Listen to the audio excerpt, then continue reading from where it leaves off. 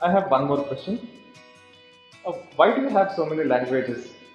Why can't you have just one universal language? Or is it necessary to have so many languages? So this question's um, answer is slightly tricky that even I, I, don't think even I know the right answer for this question. But if I were to ask you the same question, why do you have so many languages in the world? People speak, right? You have, look at a country like India, we have so many languages and let alone the dialects, hundreds of them, right?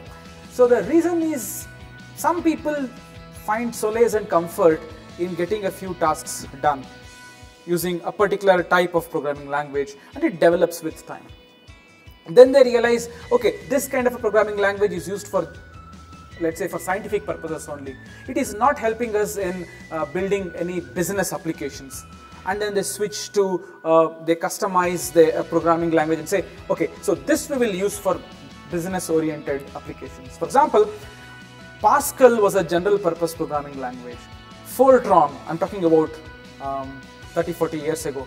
Fortran is, it stands for formula translator okay that was mainly used for scientific reasons and then came COBOL COBOL was used for uh, common business oriented language that's what it stands for. It was used for business oriented applications right? And then they thought okay fine we need something really robust and nice. And they came out with C. And then they realized in C there was a lot of problems when a programmer was programming. Uh, it was not easy on his mind. So they created this notion of objects and that was the birth of uh, object-oriented programming, right? There is very good difference between C and C++. C++ helps a person program better by keeping his mind um, um, free from any sort of ambiguity and confusions when he is coding.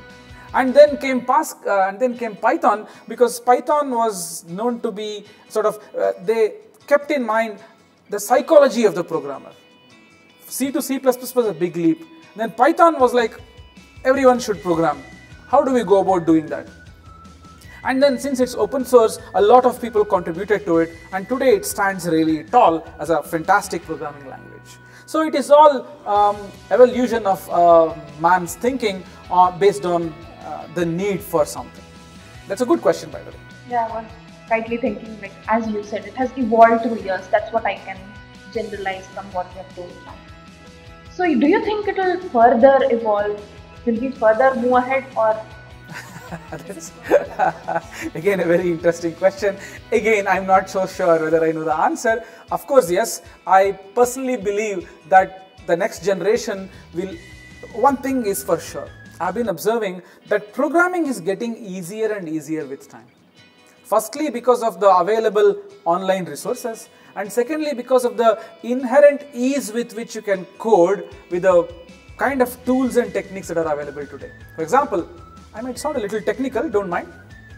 There's something called integrated development environments, IDEs, where it makes your life really simple to write a piece of code. It's like you're talking in some language. If you make a mistake, you have a earphone, small earphone, where you hear, you made a mistake here, correct it or you are typing something and you make a spelling mistake and your word processor says this is the right spelling, not just that, it corrects it automatically. Or says there's a possible grammar error here.